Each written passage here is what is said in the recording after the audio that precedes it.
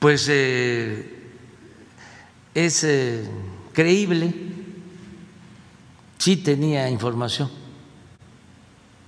¿Que Roberto Madrazo estaba detrás de Latinos? Sí. No él, sino familiares de él. Como eh, personas vinculadas a- al gobernador de Michoacán y a quien fue subsecretaria de Relaciones en el gobierno de Vicente Fox. Patricia Olamendi. Sí, tenía yo la información, porque aquí llega de todo, ya no hay este, espionaje, pero hay mucha inteligencia,